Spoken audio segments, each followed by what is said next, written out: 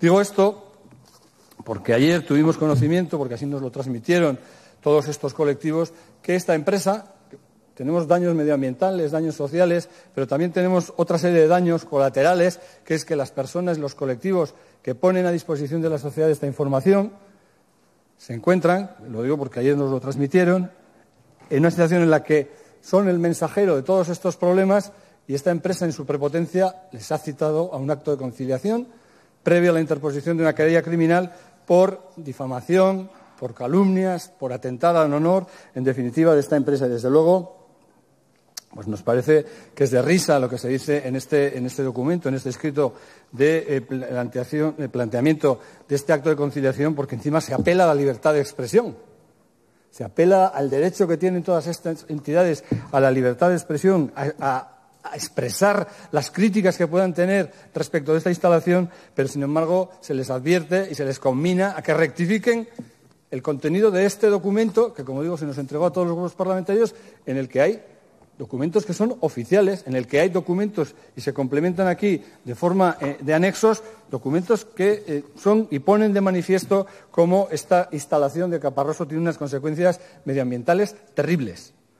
Terribles. Y lo que quieren en estos momentos, desde luego, es amedrentar, amenazar con acciones judiciales, en definitiva, que se callen todos estos colectivos y que nadie este, eh, en, esta comunidad pueda poner en cuestión las actuaciones de este tipo de instalaciones. Pues no nos vamos a callar, no se van a callar seguramente estos colectivos, pero desde luego queremos mostrar nuestra solidaridad con estos colectivos, queremos poner de manifiesto que en estos momentos están jugando un papel fundamental, han jugado un papel fundamental para que no se enterrara la situación de esta instalación y van a contar y seguirán contando con nuestro apoyo y, como digo, solidaridad. Porque, como digo, ¿qué es lo que se quiere que se calle? ¿Qué, es lo que no quiere Valle de Dieta que se sepa? Que hay un expediente sancionador abierto por el director general de Medio Ambiente por la comisión de una falta muy grave y una falta grave. ¿Y, qué hechos son los que se denuncian o han sido denunciados? Además, han sido denunciados no por una instancia, eh, digamos, de alguno de estos colectivos, que también.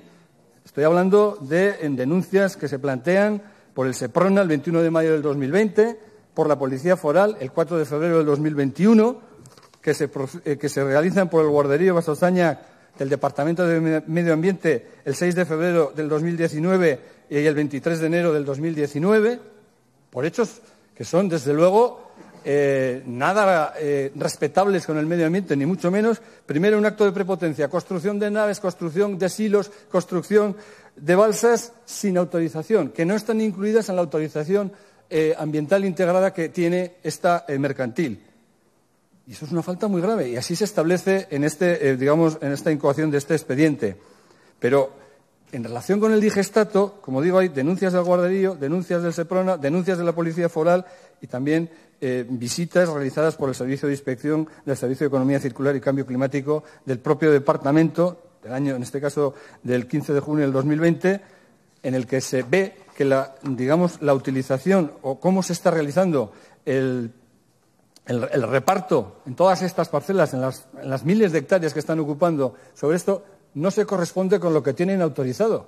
Y no se corresponde porque están utilizando técnicas que están afectando al medio ambiente, que están afectando a la biodiversidad, como es la técnica de la fertirrigación y lo dicen distintos informes, y se llega a constatar que esta fertilización, perdón por el, término, del digestato ha afectado a la flora y a la fauna del lugar. Hay informes de Basosaña, hay informes también de la propia sociedad pública GAN, hay informe incoado, diligencias incoadas por la propia Policía Foral. Es decir, no estamos hablando de tonterías, estamos hablando de una cuestión que incluso puede ser, puede llegar a ser, si así lo valoran los tribunales, un delito penal. Y desde luego, pues nosotros creemos que esto hay que ponerlo de manifiesto, que está muy bien que haya colectivos que empeñen su trabajo y que se dediquen a informar a la sociedad de todas estas situaciones, porque esto también es una de las consecuencias que nos traen las macrogranjas. Este abuso de su situación económica para intentar amedrentar y callar a estos colectivos, desde luego van a contar, como digo, con nuestra crítica y van a contar con el apoyo a los mismos, porque hay que seguir denunciando que esta instalación en Navarra está incumpliendo muchas de las autorizaciones y muchas de la normativa que existe al respecto.